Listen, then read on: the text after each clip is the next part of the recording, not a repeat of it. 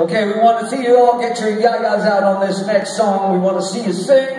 We want to see you raise some hell, all right?